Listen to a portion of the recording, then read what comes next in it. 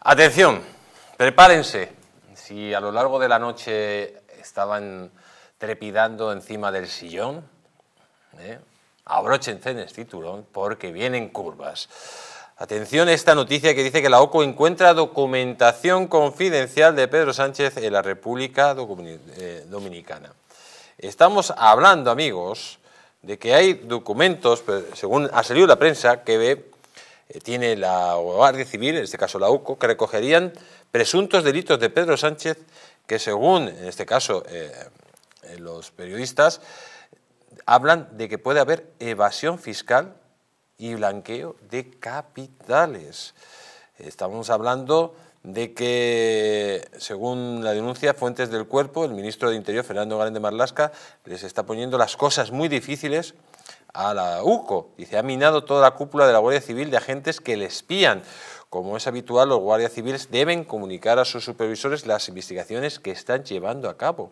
Ahora Grande Marlasca está exigiendo que se den actualizaciones al minuto de todas las investigaciones que se están llevando a cabo de hecho, se han contado que fue el propio director de la Guardia Civil quien chivó a la trama que le estaban investigando y no ha pasado absolutamente nada.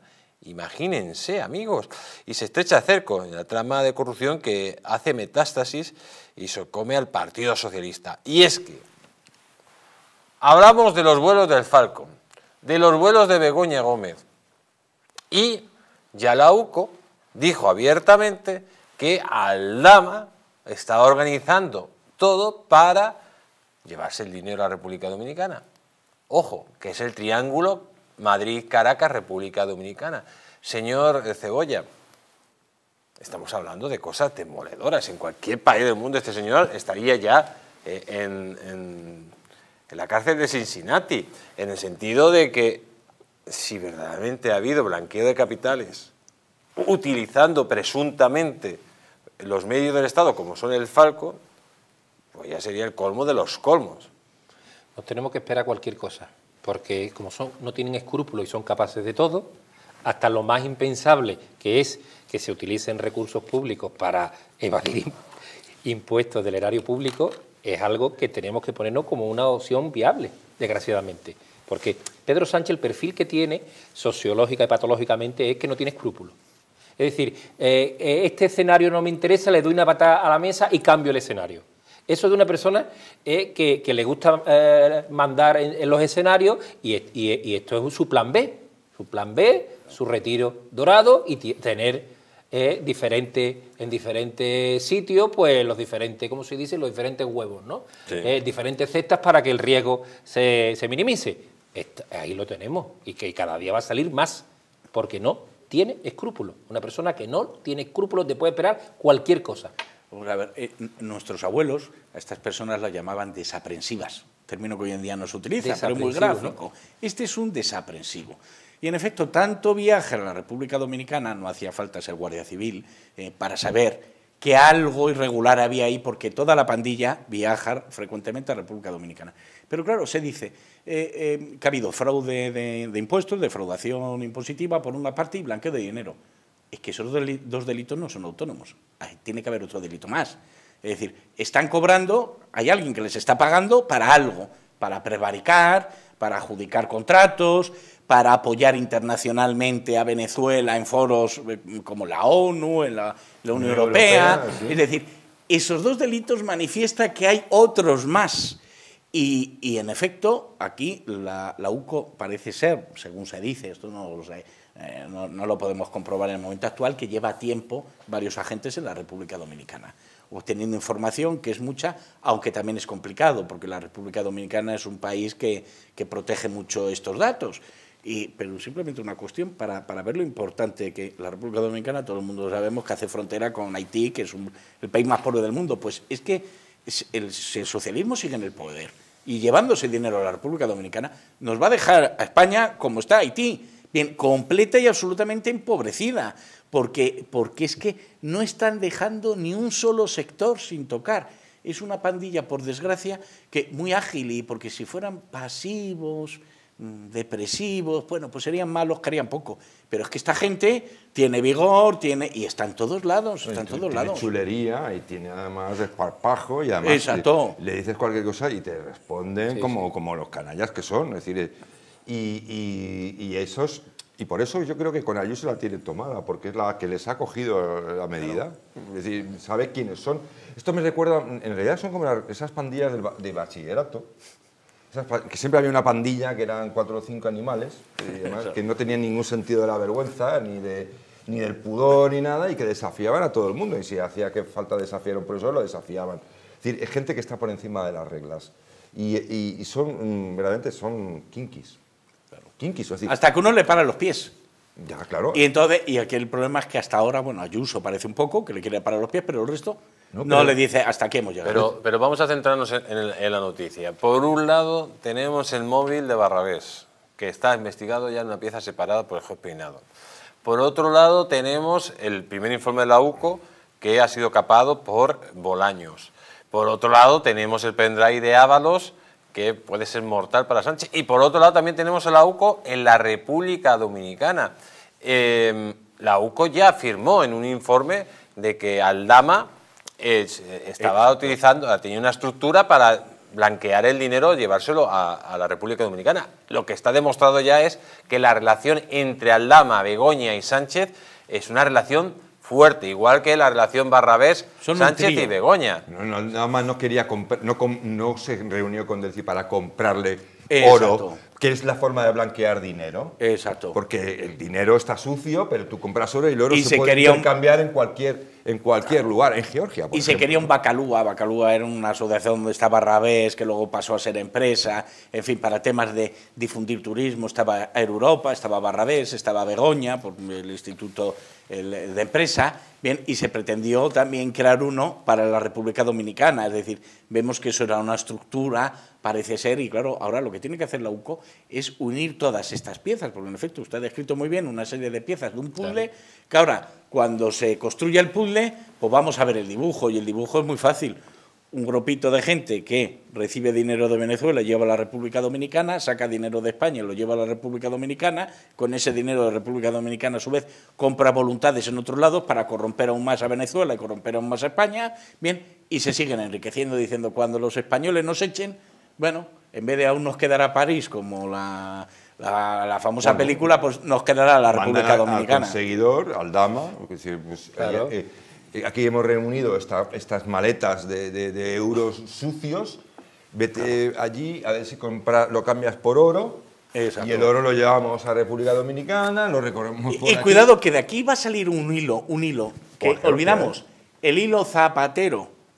Bien, Zapatero es un embajador de la República Dominicana. Bien, todo, perdón, de la República Dominicana de Venezuela, ya, ya.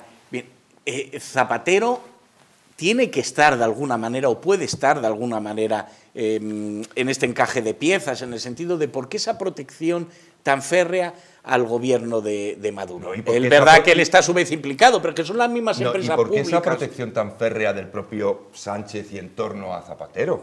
Claro, Es Hay que, que claro, hay que recordar que Maduro tiene intereses económicos en República Dominicana. De hecho, le han quitado dos aviones que tenía en República Dominicana. en el embajado. es que todos o los sea, es caminos que al final todo Dominicana. conduce eh, al mismo lado. Pero, señor Cebolla, Y- y- cuéntanos más. Y escuchando lo que, lo que, lo que habéis dicho de, de ese triángulo, yo, yo he recordado precisamente el origen de Pedro Sánchez cuando iba en el coche con Ávalo y compañía.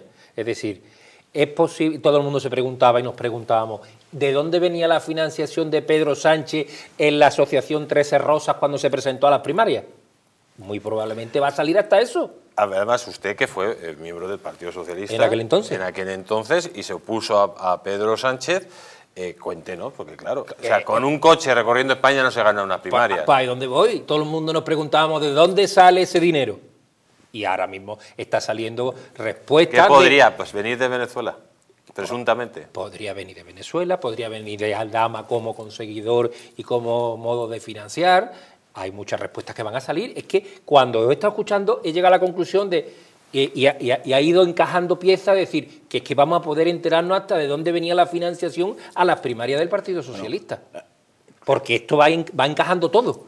Va encajando todo. Ojalá nos enteremos, porque esto es un triángulo que parece como el triángulo de las Bermudas que se come todo y luego no deja restos. Claro, ¿qué es lo que pretenden estos? Se han comido todo el dinero que ha entrado en ese triángulo, desaparece, y ahora lo que quieren es forzar a que la UCO no investigue, disolver la UCO. Es decir, lo que pretenden es que sea como el triángulo de las Bermudas, que no queden los restos de aquellos barcos, de aquellos... pero eso no va a ser posible, por eso vamos a la siguiente parte, en lo que vamos a entrar es una zona muy peligrosa. Sí de un gobierno, coincido contigo. Que, Desesperado.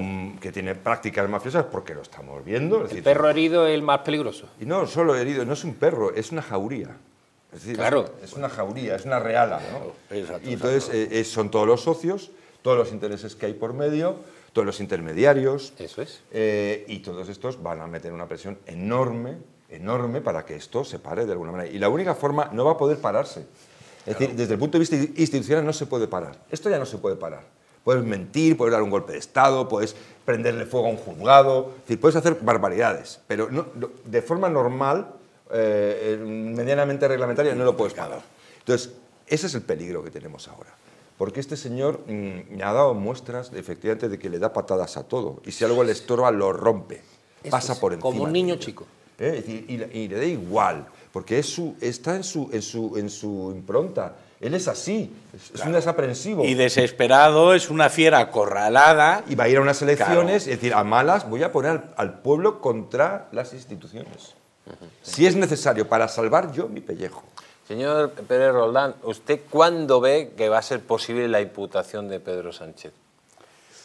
Pues vamos a ver, eso va a depender de la UCO. Y digo por qué.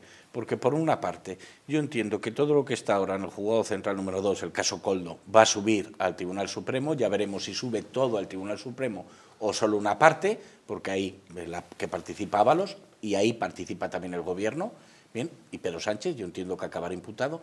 Y por otro lado, no nos olvidemos que Pedro Sánchez ha defendido a su esposa Begoña Gómez en el caso del, juzgado de instrucción número 41 por una razón, porque él sabe que va después.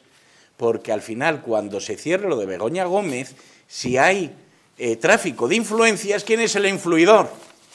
Es que Sánchez.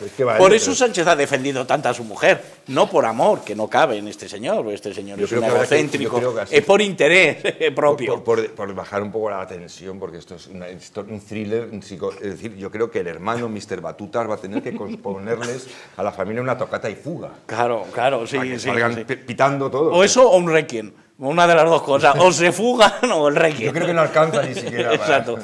Pero, pero claro, la cuestión es que en cuanto eh, la UNCO está haciendo el informe también del caso Barrabés, que hemos hablado, del, del, móvil, etcétera, etcétera, cuando esos informes estén terminados, lo que pasa es que es mucho trabajo, que puede ser, estamos a octubre, puede ocurrir en diciembre, puede ocurrir en enero, pues puede ocurrir. Yo creo que si Sánchez adelanta las elecciones, bien, como él información tiene, lo hará antes de que surjan aquellos informes, porque eso ya sí que pueden hundir muchísimo más su imagen. Eh, yo le sugeriría, o sea, sugeriría un, tema que yo creo que también es inquietante, hablando del bando contrario desaparecido, especialmente el Partido Popular. Es más tiempo lleva y es un partido más, más fuerte, además, que el que más bueno, tiene. Tiene mucha más implantación territorial, en fin, tiene, eh, yo tengo la sensación de que eh, Feijóo está templando gaitas o, no intentando que esto no coja velocidad porque teme que este hombre, como ha llegado a ser presidente y ha llegado a ser el líder del Partido Socialista y allá hay un entente de los dos grandes partidos respecto a muchas cuestiones, de, eh, digamos, digamos de, acuerdos, de no, de no beligerancia, de respecto a determinadas cuestiones más conflictivas, yo creo que eh, le tienen miedo porque es un tipo fuera de control. Y en un momento dado tiene acceso a todo eso y en un momento dado si se siente acorralado es capaz de hacer... El fiscal general ya lo dijo hace unos días. todo el sistema. Tengo mucha información como fiscal que no he querido utilizar políticamente. Claro, claro. Entonces yo creo que eso es una parte muy, también muy dramática de lo a lo que nos vamos